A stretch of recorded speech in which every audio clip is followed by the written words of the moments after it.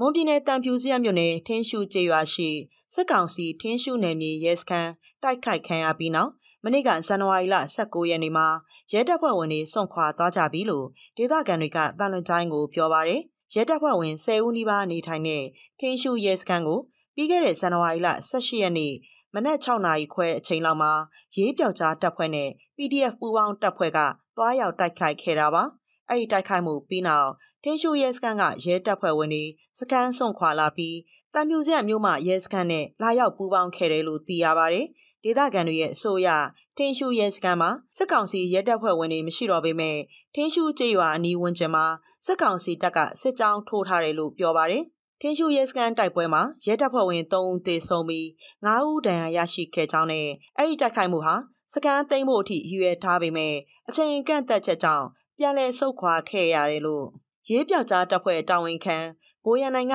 တာလင်ချိုင်းကိုပြောဆိုထားပါတယ်။ထင်းရှူရဲစကန်ကနေရဲတပ်ဖွဲ့ဝင်တွေစကန်ဆွန်ခွာမှုဟာမွန်ပြည်နယ်မှာစစ်တပ်အာဏာသိမ်းပြီးနောက်စစ်ကောင်စီဘက်ကပထမဆုံးရဲစကန်တခုလက်လွတ်မှုလည်းဖြစ်လာခဲ့ပါတယ်။